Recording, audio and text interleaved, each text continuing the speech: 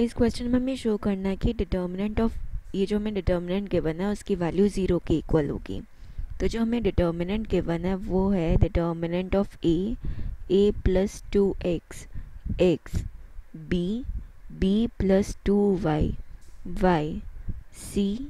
c plus two z and z के equal तो यहाँ पे हम ऐसे लिख सकते हैं row two is row two minus of row one plus two times of row three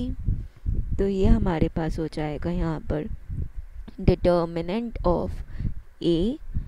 a plus two x minus of a plus row three तो उसका टू एक्स एलिमेंट है। ये हो गया b b plus two y minus of b plus two y y c c plus two z minus of c plus two z और z के equal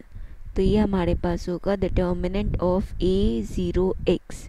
b zero y c zero z के equal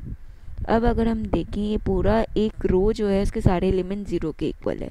तो ये determinant की value zero हो जाएगी और यही हमें प्रूव करना था. So hence proved